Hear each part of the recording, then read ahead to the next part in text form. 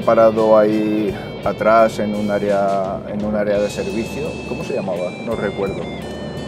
Y nos vamos en dirección Requena, ¿vale? Vamos por aquí, por esta carretera que hacía mucho tiempo que no tenía controlada y me apetecía. Voy vacío, así que ningún problema. La peguita está que está el suelo un poquito húmedo, pero bueno, mm, en fin, es lo que, es lo que hay. A mí nunca me gustan estos, estas carreteras más antiguas, pero bueno, esto es territorio comanche, territorio motero, Villatoya, Los Isidros, etcétera, etcétera, etcétera. Buenos recuerdos, buenos recuerdos. Es una carretera muy bonita que invita a pararte para ver el paisaje.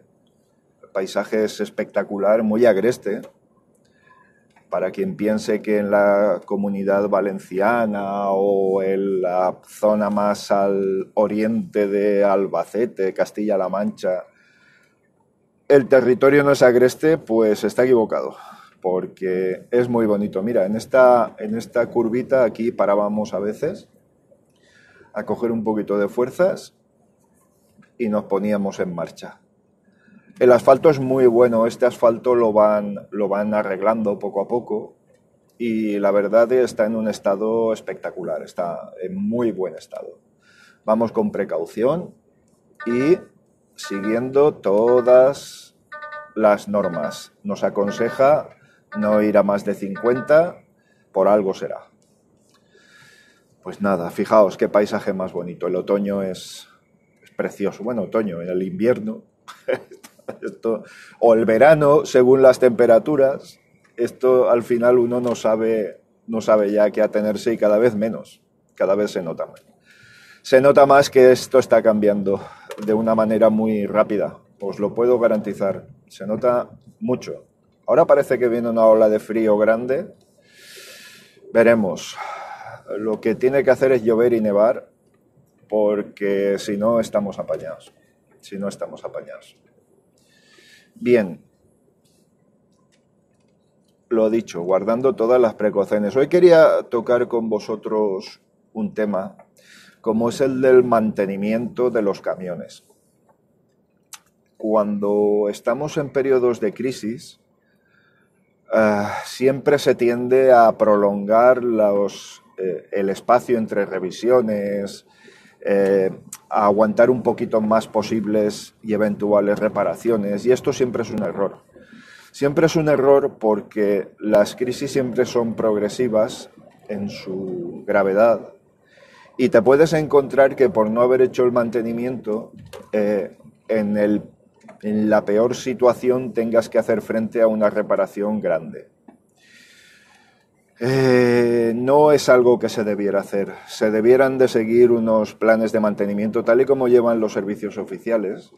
Que bueno, ahí también habría mucho que hablar porque esas revisiones eh, que tardan muchísimas horas y en las que se miran cosas completamente absurdas, no en el camión, pero en el coche sí que me pasó. En el coche me pasó que de repente Kia dijo hay que sustituir la junta de la tapa de balancines. Y dices, bueno, bien, será porque han detectado algunos fallos en, una, en algunas unidades y tal.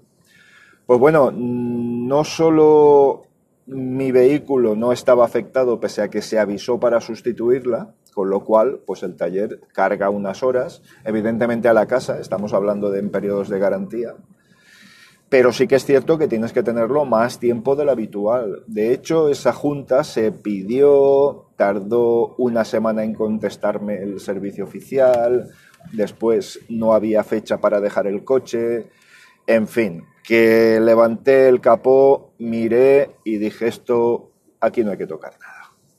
Aquí no hay que tocar absolutamente nada. Eh, lo que os he dicho que después mi, mi número de bastidor no estaba afectado, por el problema, pues corroboró la decisión que tomé, que podía haberme salido mal, pero no sé, hay veces que es un poquito perverso también el mantenimiento en los servicios oficiales.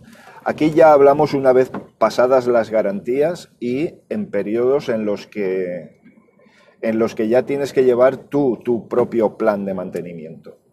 Esto incluye cambio de filtros, líquidos, todos los líquidos, todos los líquidos. En estos camiones automáticos es importante no pasar el periodo de, de, vigencia, de validez, de, eficacia, por ejemplo, del líquido de la caja de cambios automática, es muy importante.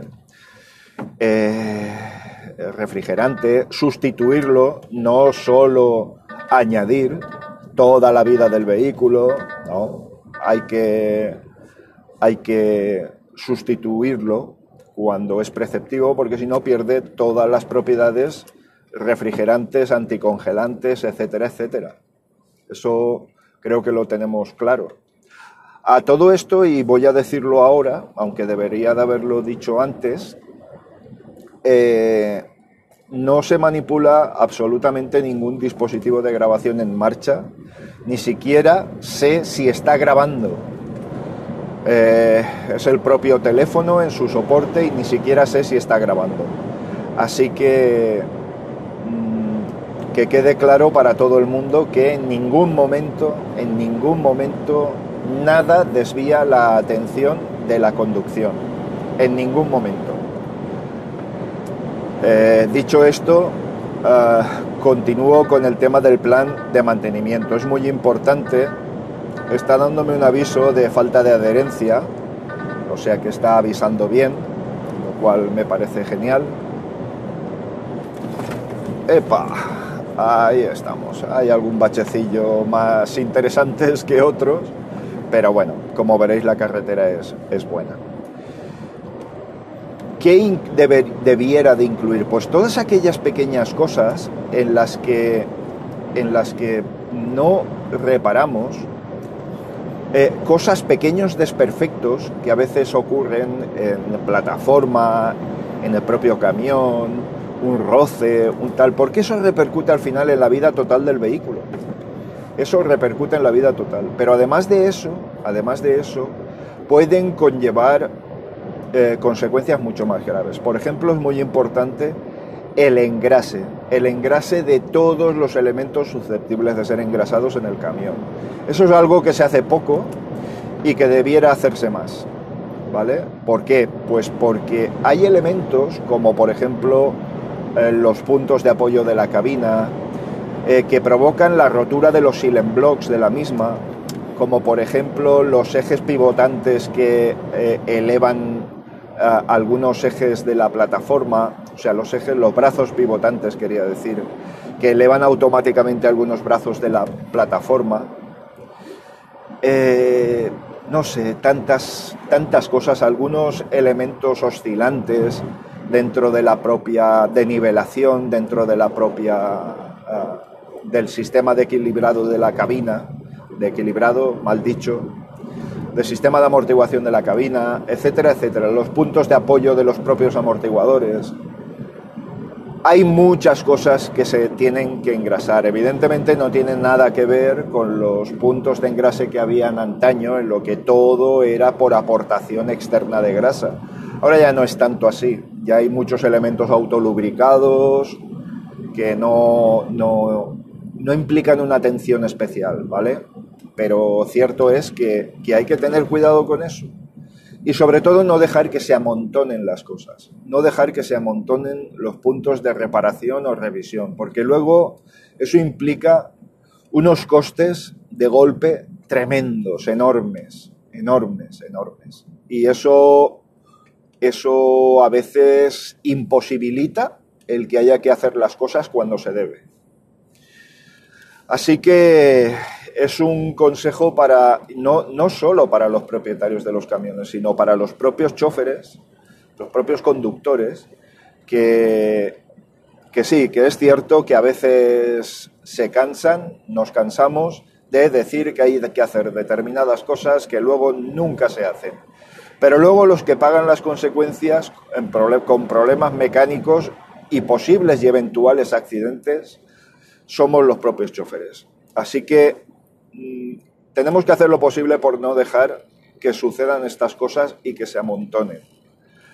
Eh, la mecánica sigue siendo mecánica como toda, la, como toda la vida y creo que las mismas recetas que se utilizaban antaño se pueden utilizar ahora mismo.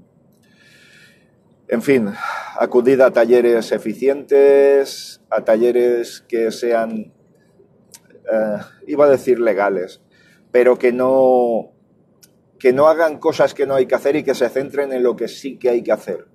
Y eso es importante. Eso es muy importante de cara al grosor de la factura. ¿De acuerdo? Bueno, bueno, bueno, como veréis la carretera es una verdadera maravilla. Una verdadera maravilla. Oh. Es que me estoy imaginando yendo en moto, tranquilamente, sin rebasar las, los límites que os conozco, que enseguida vais a decirlo. ¿Qué quieres decir? Que no, sin rebasar los límites y disfrutando de la propia carretera y del paisaje. Es muy bonita, es muy bonita. No sé, no tengo tan claro que se gane tiempo con respecto a, a bajar de Albacete a Valencia por la autovía. Yo creo que, desde luego, yo creo que se consume menos, pero no sé, hay gente que está muy atada y tiene muy en la cabeza que por aquí se hacen 20 kilómetros menos y, oye, son 20 kilómetros menos, sin contar los picos de consumo que tienes solo por dar palancazos, que en el argot es ir cambiando de marchas continuamente, por ejemplo. Yo soy más partidario de las autovías, con el camión respirando aire y consumiendo muy poquito. Cada vez estoy más convencido y además a mí los datos me lo demuestran. ¿eh? El ordenador de a bordo me indica los consumos por viaje y, y siempre son menores, siempre son menores yendo por las autovías. Siempre, siempre, siempre. ¿Que ganas tiempo? Sería discutible, pero que ganas en consumos, vamos, de todas, todas. Más que comprobado. Y estos son datos, esto no es opinable. Es que yo creo, no, no, no, esto no es opinable. En el mismo viaje eh, gastas una cantidad determinada de litros u otra.